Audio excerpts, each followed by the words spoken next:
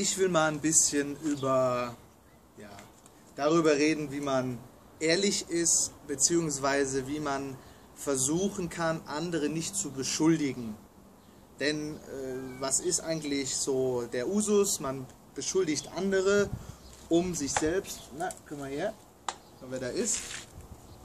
Man beschuldigt andere, um sich selbst besser zu fühlen, um die Schuld von sich selbst zu nehmen, anstatt dass man sagt, ich bin für alles in meinem Leben verantwortlich und ich übernehme die volle Verantwortung für alles, was mir passiert. Auch wenn man jetzt sagen könnte, ganz rational gesehen ist der oder der schuld oder die Gesellschaft ist schuld oder die Politik ist schuld. Wichtig zu erkennen, was einem selbst hilft, weiterzukommen im Leben und sich nicht mit diesen Schuldzuweisungen, in diese Schuldzuweisungen zu verstricken, was da hilft, ist einfach für alles, egal ob es jetzt rational die Schuld von dem anderen oder die eigene Schuld ist, für alles die Verantwortung zu übernehmen.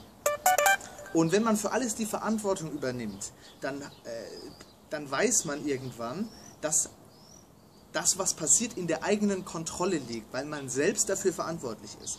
Wenn man andere beschuldigt und ähm, man ist in einer schlechten Situation und macht andere dafür verantwortlich, dann heißt es ja auch, dass andere ihr Verhalten ändern müssen, damit du wieder in eine gute, positive, glückliche Situation gerätst. Und genau das ist das äh, Fatale dabei. Wir geben unsere Macht ab an andere, an die Gesellschaft, an unsere Umstände, an unsere Umwelt und haben das Gefühl von Ohnmacht und äh, haben auch deshalb keine Motivation, irgendwas anzugehen, weil wir denken, es bringt doch sowieso nichts, die anderen sind schuld, die anderen haben es in der Hand. Anstatt zu sehen, dass man für alles selbst verantwortlich ist, dass man das Leben, was man jetzt hat, ist komplett aus eigener Hand entstanden. Es ist immer die eigene Handlung und die eigene, vor allem die eigene Interpretation von Dingen, die es am Ende und die Bewertung, ne, die am Ende dazu führen, wie man im Kopf die Welt sieht und wie man die anderen sieht und wie man sich in dieser Rolle oder in diesem Konstrukt sieht. Deshalb ganz wichtig, immer sagen, ich bin dafür verantwortlich, was hätte ich besser machen können. Nicht verwechseln mit sich selbst fertig machen dafür. Sich selbst fertig machen dafür heißt, dass man äh, die Realität nicht erkennt. Heißt, dass man nicht erkennt, dass Fehler zum Leben dazugehören. Und äh, es gehört auch dazu, mal die falsche Abzweigung zu nehmen. Und wenn man sich dann dafür fertig macht, dann ist, lebt man genauso in einer Illusion. Denn der Illusion, dass alles perfekt sein muss. Und wenn man sich dann dafür fertig macht, ist es äh, ist auch keinem geholfen. Sondern ganz rational zu erkennen, okay, ich nehme, übernehme die Verantwortung und erkenne rational, was hätte ich besser machen können, was ich, hätte ich nicht besser machen können. Nachdem man die, äh, die äh, Lesson gelernt hat, sozusagen, geht es weiter, ohne dem äh, nachzutrauern oder ähnliches. Und das Wichtige dabei ist natürlich, dass man aufhört, andere zu beschuldigen. Man hört auf, schlechte Energie mit anderen zu teilen. Man hört auf, äh, in Streit mit anderen zu geraten, was generell dich selbst glücklicher macht und vor allem deine Umgebung glücklicher macht.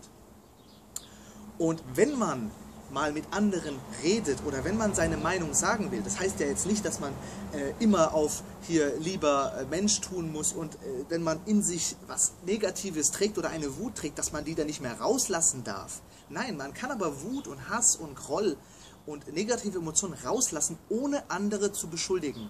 Und zwar ganz einfach, indem man nur wiedergibt, was in einem selbst vorgeht. Man kann zu jemandem sagen, ich fühle mich so und so und ich denke, ich fühle mich so, weil du das zu mir gesagt hast. Also man bleibt quasi bei sich selbst. Man sagt nicht, du bist blöd, du bist ein Arschloch, weil du das gemacht hast, sondern du sagst, ich fühle mich gerade so, weil du wahrscheinlich deshalb, oder ich bin mir ziemlich sicher, weil du das und das gesagt hast und ich will einfach dieses Gefühl, weil es was mit dir zu tun hat, mit dir teilen. Ich will, dass du weißt, wie ich mich fühle, wie es in mir aussieht. Und man kann das auf eine Art und Weise sagen, völlig befreit vom Ego, ohne andere Menschen dabei zu beschuldigen. Und andere Menschen werden, werden, werden merken, äh, äh, dass es auf so eine Art und Weise gesagt wird.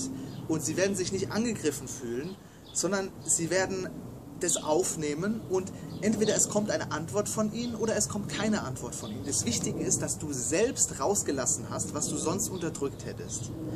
Das heißt, erste Lektion, Verantwortung für alles übernehmen was automatisch dazu führt, dass du in der Hinsicht andere nicht mehr beschuldigst. Das, beschuldigst. das heißt, du kannst deine Emotionen und das, was in dir ist, auch freier herauslassen und wirklich sagen, was du fühlst, ohne da dein Ego mit einzuschalten und andere herauszufordern dabei.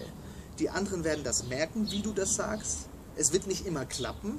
Wie gesagt, sich auch nicht dafür fertig machen, wenn man mal wirklich aus der Haut fährt und mal wieder total ausrastet und andere wirklich beschuldigt.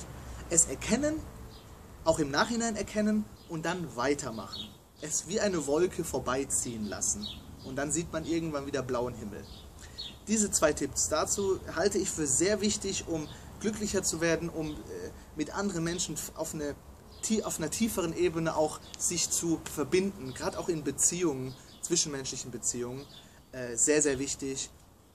Und äh, ja, das dazu bei 36 Grad und wir sehen uns im nächsten Video. Ciao.